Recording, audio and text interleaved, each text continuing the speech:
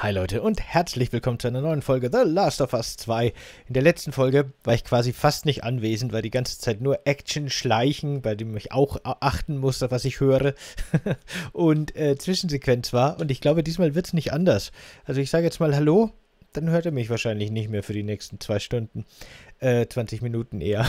Schauen wir mal, denn wir sind gerade in einer Rückblende, die finde ich echt cool ist und echt auch sehr emotional und hart und heavy.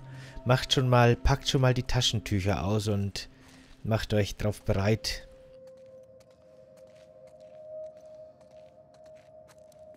Ein großes Drama zu erleben. Wir sind im Krankenhaus der Fireflies, wie wir sehen können. Dort, wo Ellie untersucht wurde. Vor einigen Jahren.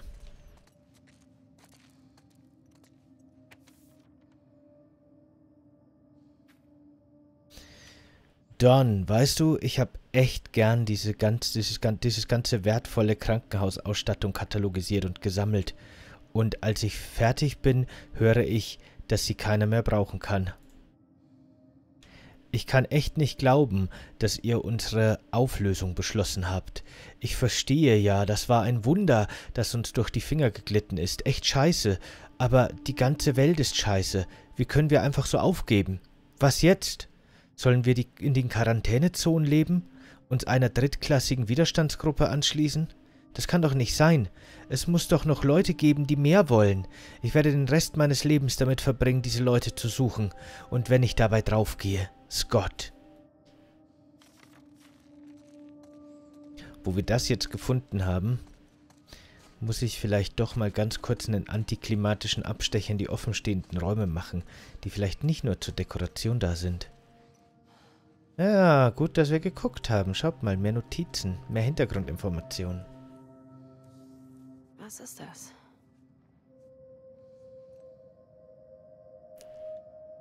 Eine seltsame Anomalie in deinem Hirn. Das Wachstum ist eindeutig mutiert. Ich bin gespannt, ob die Testergebnisse unsere Theorie untermauern. Das ist ein ganz, das ist ein ganz großes Ding. Das ist ein ganz großes Ding. Aha, also irgendwas hat sich in ihrem Hirn quasi manifestiert. Aber scheinbar irgendwie kaputt.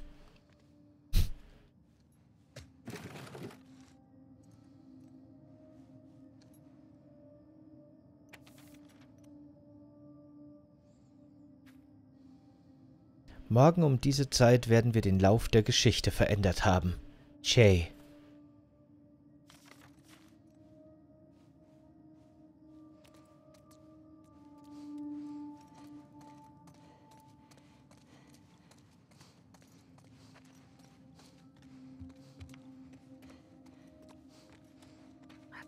Einiges zurückgelassen.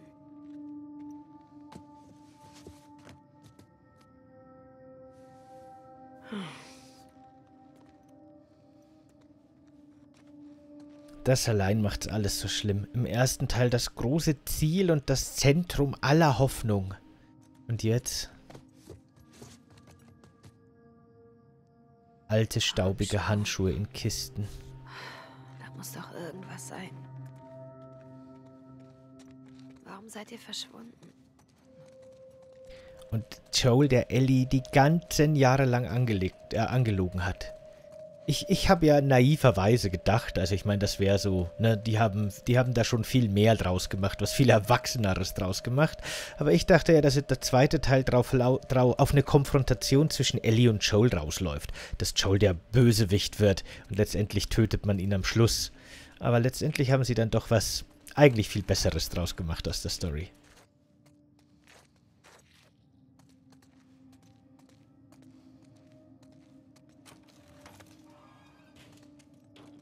Ich verstehe auch nicht, es gibt anscheinend einige Joel-Fans, die Joel total toll fanden.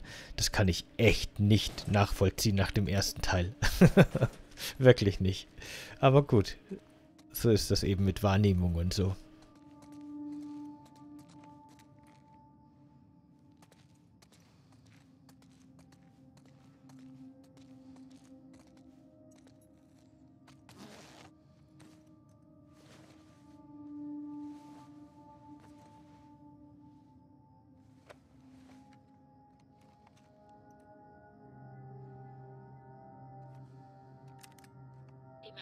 Schon weg. Ich weiß nicht, welcher Gruppe ich mich anschließe.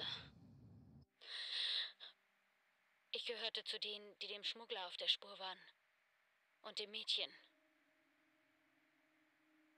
Die meinten, selbst wenn wir sie finden oder wie durch ein Wunder jemand anderen, der immun ist, wäre es egal. Denn die einzige Person, die einen Impfstoff entwickeln könnte, ist tot. Oder wie durch ein Wunder jemand anderen, der immun ist. Wäre es egal. Oder jemand anderen, der immun ist. Wäre es egal. Denn die einzige... Ali!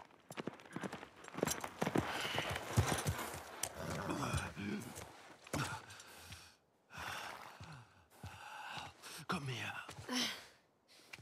Was hast du dir nur gedacht? Mitten in der Nacht einfach so davon zu laufen. Sag doch was. Du hast mir nicht mal eine Nachricht hinterlassen.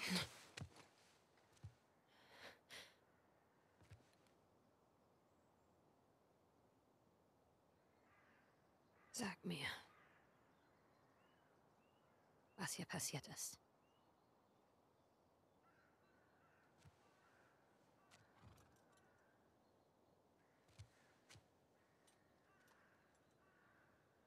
Wenn du mich noch einmal anlügst, bin ich weg. Und du siehst mich nie wieder.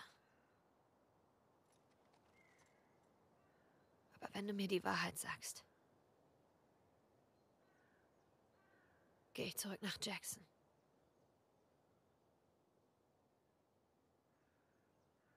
Egal was es ist.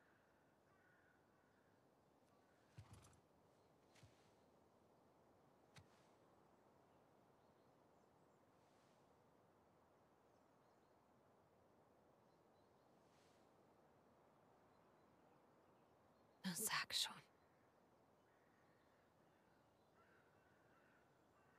Joel.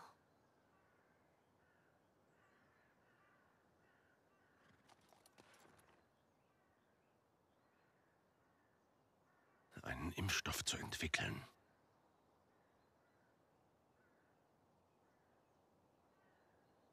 Hätte dich getötet.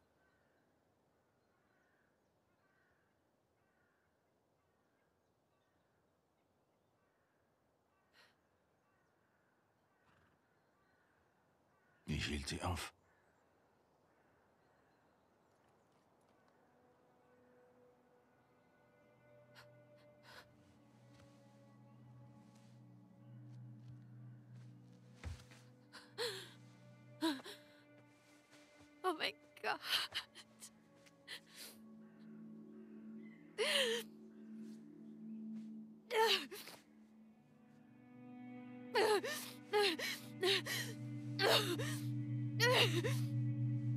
Fass mich bloß nicht an.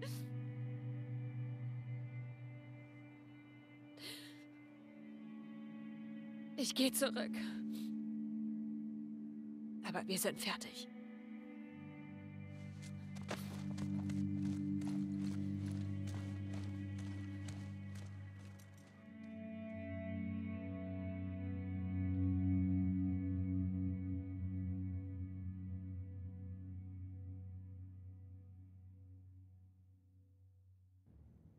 Das finde ich so eine gute Szene. Das ist genau die Szene, auf die ich gewartet habe, seit ich den ersten Teil durchgespielt habe. Der lässt einen so unbefriedigt zurück und hat mich so wütend gemacht, wie Joel auf Ellie reagiert, wie er ihr alle, wie er ihr das vorlügt, dass sie einfach nur, dass sie einfach nur nichts mit ihr anfangen konnten, dass sie doch nicht so wichtig ist und so weiter, dass sie sie gehen lassen haben. Das hat mich irre gemacht.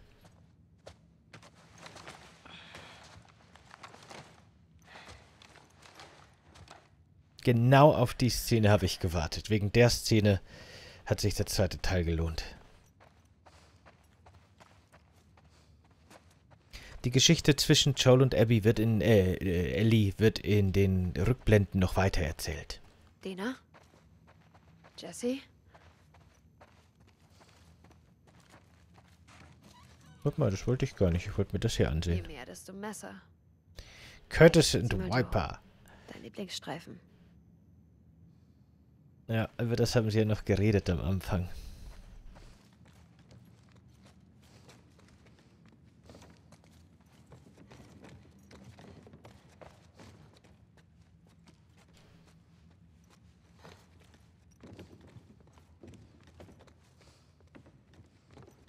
Dina?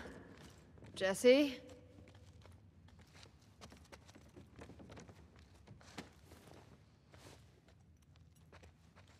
Ob das hier eine Metapher ist, dass man so oft hier durchgeht durch den Vorhang und die Bühne betritt quasi. Und das Spiel geht weiter, so ungefähr. Vielleicht. Vielleicht aber auch nicht. Vielleicht ist es einfach nur eine versteckte Ladezeit.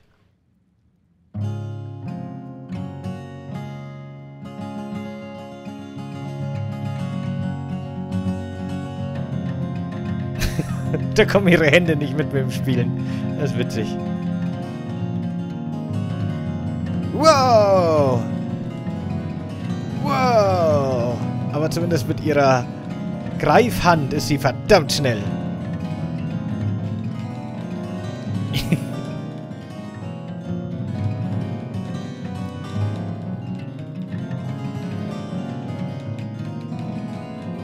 Nicht schlecht. Da muss jemand bitte, kann jemand das Video, äh, äh, einen Clip machen? Kann jemand das Video nehmen, gerade das da?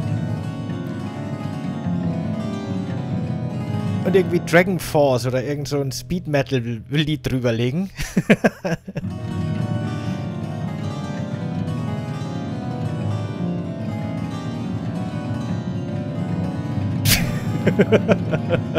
okay, genug, genug des Gitarrespielens. Wartet mal, jetzt muss ich doch was versuchen.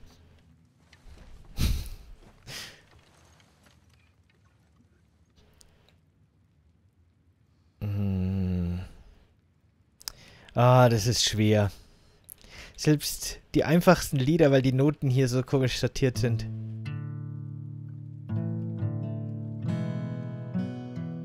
Also die sind schon sinnvoll sortiert, aber ich meine jetzt, wenn man einfach nur die vollen Noten haben will, muss man ganz schön durch die ganze Zeit.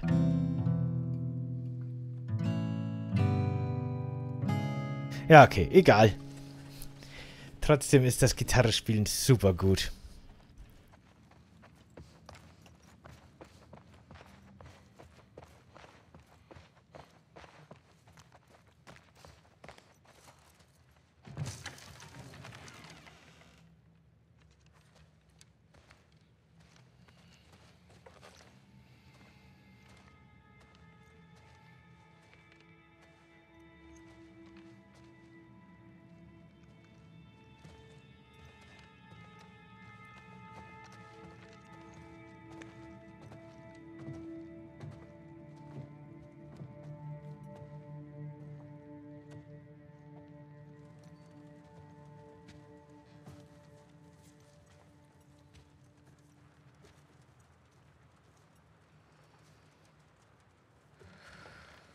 Sie hatte eine harte Nacht.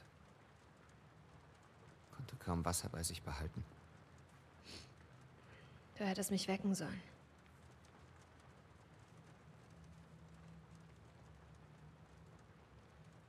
Ist sie schwanger?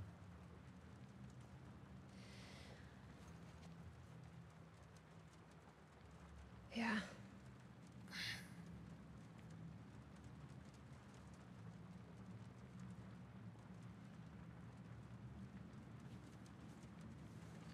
Ich verstehe, warum du hier bist. Aber sie muss zurück. Sie braucht Hilfe und die bekommt sie nicht, wenn... Ja, ich weiß. Ich weiß. Aber ich kann Tommy nicht im Stich lassen. Er ist meinetwegen hier.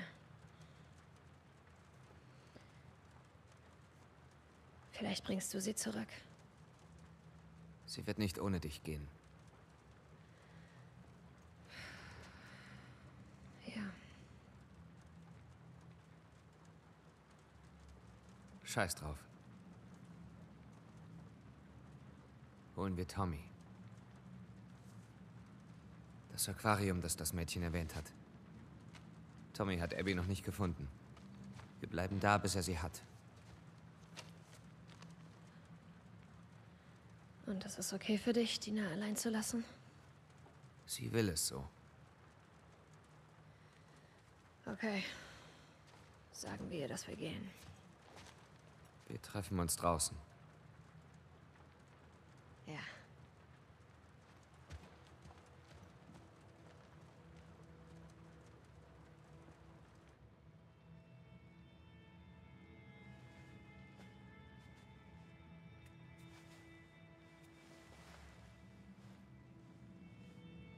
Hi. Hey, Babe. Du musst die Tür uns verriegeln. Okay.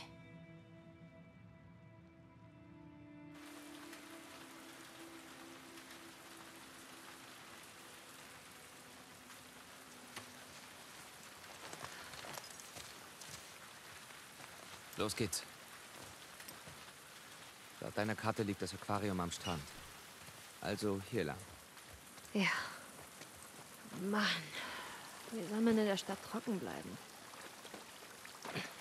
Ups. So nicht. So schon mal nicht. Okay, hoch mit dir.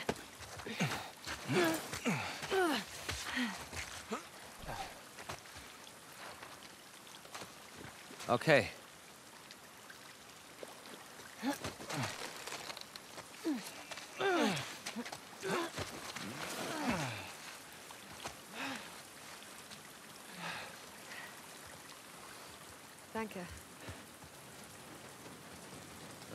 Dina erzählt? Dass wir im Aquarium nach Tommy suchen. Ich hab nicht erzählt, dass du es wusstest. Dass du das. Meinte ich nicht.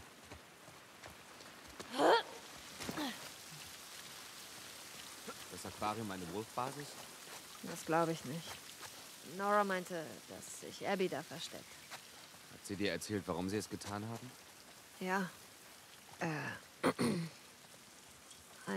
Zerwürfnis zwischen Joel und einigen Fireflies. Jetzt Ex-Fireflies. Was für ein Zerwürfnis. Er war ein Schmuggler.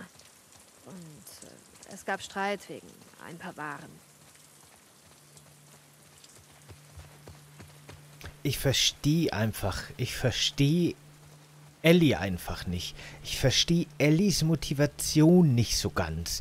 Die ist irrational und total crazy eigentlich. Die nach allem, was sie weiß und nach allem, was passiert ist, eigentlich, dass sie, also das macht alles keinen Sinn. Aber noch weniger Sinn macht es, dass ihr so viele Leute helfen.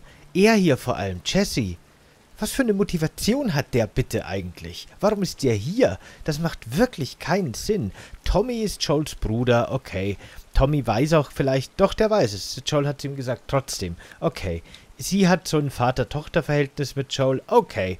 Aber dass Dina mitkommt, ist schon irgendwie so ein bisschen, naja, an den Haaren herbeigezogen. Weil, gut, die beiden sind jetzt irgendwie ein Paar und so, aber, hm, keine Ahnung.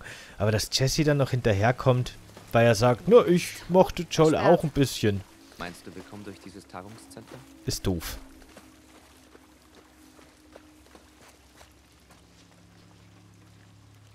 Finde ich einfach unlogisch.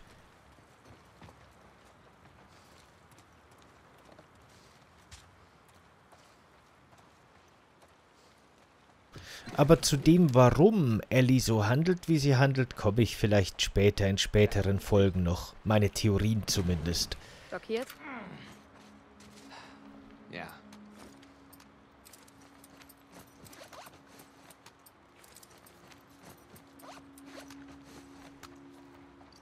Weil da gibt es zumindest ein paar Ideen quasi, wie man das begründen könnte. Aber so weit sind wir noch nicht.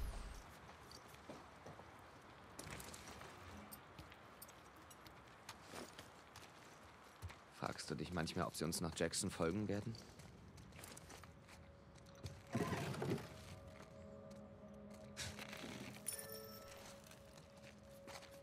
Was meinst du?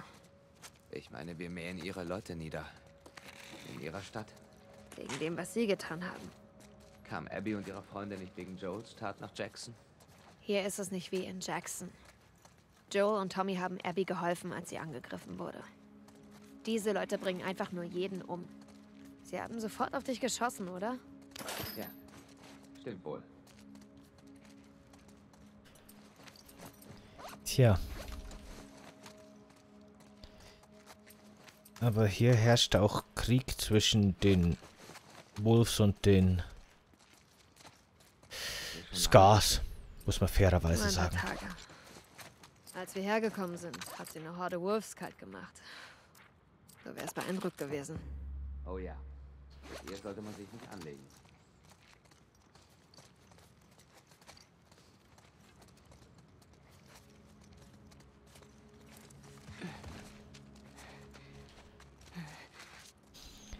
So, da es wahrscheinlich gegenüber weitergeht. Ah, eine Werkbank. Auch nicht schlecht. Und eine Sammelkarte. Thermo... Wie? Nee. Ter, Termentra. Termentra 8080. Keine Zugehörigkeit. Echter Name Iris Ocampo. Tomentra wurde früher ein freundlicher, nee, warte mal, war früher ein freundlicher, mitfühlender Teenager und musste wegen ihrer Weichheit viel Spott ertragen. Doch alles änderte sich mit dem Ausbruch der latenten genetischen Mutation. Sie erlangte die Fähigkeit, den mentalen Schmerz anderer in kinetische Energie umzuwandeln. Je größer der Schmerz, desto kraftvoller das Ergebnis. Heute ermöglicht ihr ihre Arbeit als Kriminalpsychologin, die schlimmsten Geschehnisse im Leben anderer Menschen zu absorbieren und sie buchstäblich als Munition gegen diejenigen einzusetzen, die sie früher gequält haben. Viele verdächtigen Tromentra, sich am Schmerz derjenigen zu laben, die ihr früher Ausbrüchen, was? Die ihren früheren Ausbrüchen im Weg standen. Hm, Und so einen endlosen Kreislauf des Leids zu erschaffen. Neutrale Schurkin. Nimmt die dann den Leuten ihr psychisches Leiden weg dadurch? Weil dann ist das ja eigentlich ziemlich cool. Aber wahrscheinlich nicht. Sie ist quasi wie Stephen Kings S. Und da auch schon wieder, ne? Ist schon wieder in, in der in der Superheldenbeschreibung gerade die, die gleiche Leier wieder, die gleiche Geschichte, wie sich das ganze Spiel zieht, dass sie den Kreislauf auf, aus Leiden verursacht durch ihr Handeln. Gerade haben die beiden auch noch drüber geredet. Es zieht sich wirklich durch das ganze Spiel, die ganze Zeit, immer und immer und immer und immer wieder. Ein bisschen zu viel, finde ich. Die Botschaft ist schon in, in, der, in der ersten, also ich denke mal, für die meisten Leute dürfte die Botschaft in den ersten zwei Stunden des Spiels schon recht deutlich angekommen sein. Die müssen das wirklich nicht über 30 Stunden strecken, machen sie aber. Okay, von mir aus. aber schon langsam wird's lächerlich.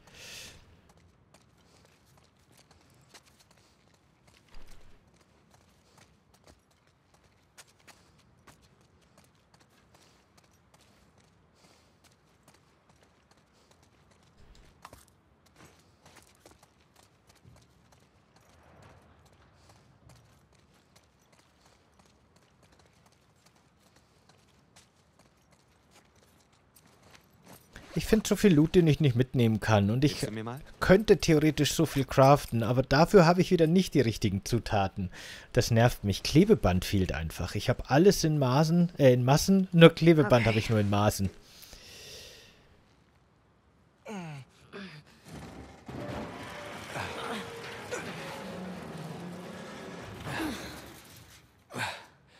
Hier durch. Ich muss einfach fragen. Warum hat sie mir nichts gesagt? Dass sie schwanger ist. Hör zu. Sie sagt es dir sicher, wenn Für heute geplant. Alle Einheiten werden dabei sein. Wer hat dir das gesagt? Der Chef selbst. Wir sichern dieses Gebiet, warten auf die Einheit und dann machen wir die Scars platt. Äh, letztes Mal. Das wird nicht wie letztes Mal. Ich bin nervös. Wir sind alle nervös. Das ganze Ufer ist gesichert. Wir werden uns einfach im Wasser abknallen. Hey, hab Vertrauen. Du klingst wie die. Tu nicht so, als hätten wir eine Wahl. Hinterhalt, Hinterhalt! Ich glaube, das kam von da. Eindringen! Ah, dammit. Ah, dammit. Lauf doch, Ellie. Ah! Oh,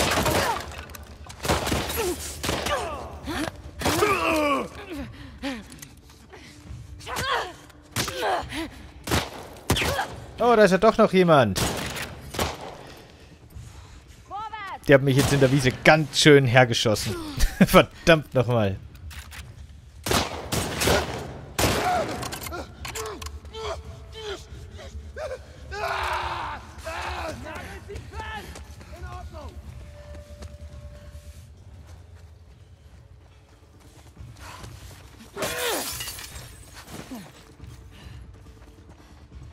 Also kurz schauen, ob man hier was plündern kann.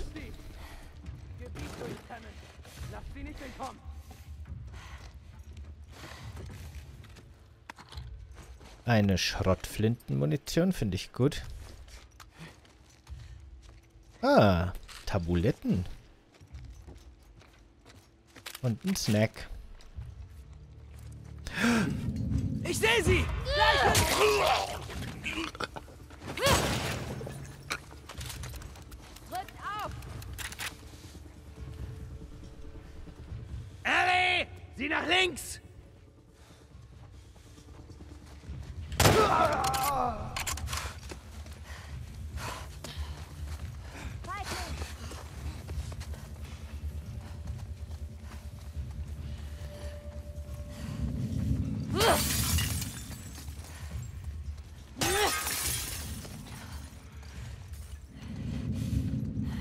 Keine Scheibe bleibt heil, wenn Ellie am Start ist.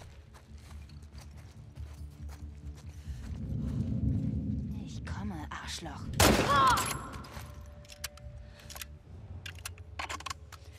Okay. Das dürfte reichen. Wirklich? Das war's? Okay, cool. Leute, dann machen wir jetzt für heute Schluss. Und beim nächsten Mal geht's genau hier an der Stelle weiter. Yeah, macht's gut. Bis dann. Tschüss.